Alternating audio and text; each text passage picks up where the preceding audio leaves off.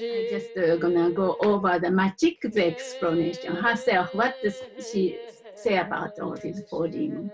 So four demons, as you know, the Buddha has already has, has the four demons, and the Machig kind of uh, very similar, but a little bit different, her version of it.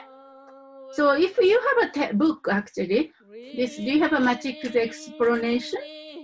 The uh, thick one. Okay, page 117. It's the fourth chapter. Uh, talks quite a bit uh, about uh, demons and um, the, her definition. So basically, her definition of the demons, uh, Sarah translate as a devil. I don't know how you think about that, that translation, devil. And uh, English is not my first language, so uh, yeah, anyway, so devil, she translates. A devil is anything that obstructs the achievement of freedom. Uh, so to take a moment to think. So anything that obstructs or uh, prevent you from achieving the freedom. So that's a, uh, quite a bit, no? so human condition. So as, as long as we are human, we are living in the, in the mercy of uh, karma, right? So samsara defined by existence controlled by the affliction and karma.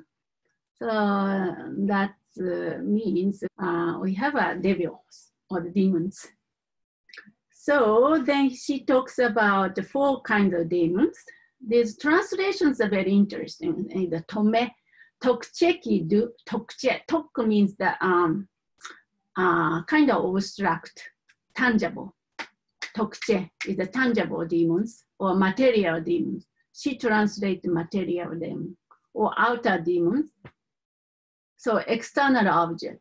So it's kind of anything of the sense object, right? Sense object, like a form, sounds, uh, what is it, smell, and then tactile, all these things. So, so based on that, sometimes we uh, generate attachment or aversion, you know, these two poles, right? So those are called the uh, material demons. She talks about the form that, for example, material devil is a form with eyes. Attractions arise in relation to fine form. But actually, it's not the so-called external uh, perception is nanwa.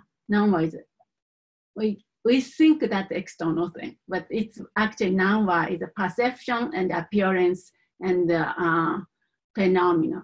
So the, our reaction to uh, to whatever. Often we use the the example of the personal relationship. For example, your partner is not the devil or the demons And your relation to that person. Either you hate or you create a strong attachment or the hatred, then uh, that become a demon. Right. So that's clear, right? So any, anything else, any other examples you are working with right now, current, currently at this point in terms of material devil? You have a uh, kind of on, on occurring uh, material devil. You already cut through everything. so even like a foods, for example, uh, quite a bit of aversion to certain things. I mean, yeah, like a smell, senses, quite a bit of um, demons we have. Anybody it's kind of nice to together. My my cup of coffee in the morning is my um, demon that I find very hard to let go. Your cup of coffee is innocent cup, cup of coffee. Ah, okay. but your uh, attachment to, to that uh, cup of coffee. Yeah. Could okay. be, could be uh, uh, the material, the devil.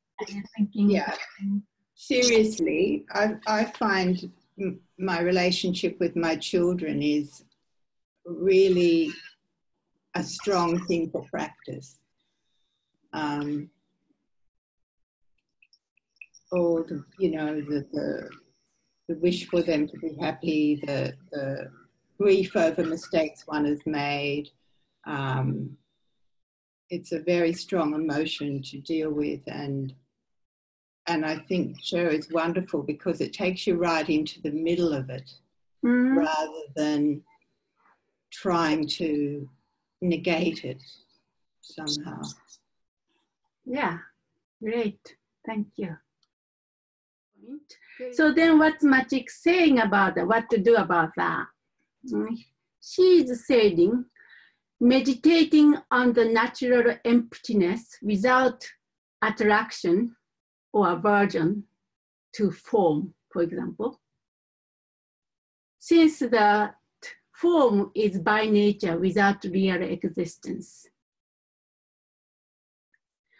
Me- Mere, mere, M-E-R-E, mere appearance without grasping onto its valid existence. Without eliminating clinging to that mere appearance, you will be liberated from form, noble son. So another way to do is resting in the open space, open awareness. so one thing you can do, uh, Tibetan yogic exercise, first intensify it, bring in the, all the demons and intensify that emotion or whatever. Then that uh, we use the syllable ha, but this case, Chö case the pe, pe, kind of blasting out, like a, uh, popping the uh, balloons or kind of thing. Intensify it and then pe, then just rest. Rest in that natural uh, state of open awareness without any expectation. Then mix uh, your awareness with the Dharma Dhatu, Ram of totality, or Prajna Paramita, Great Mother. And just rest. Mandala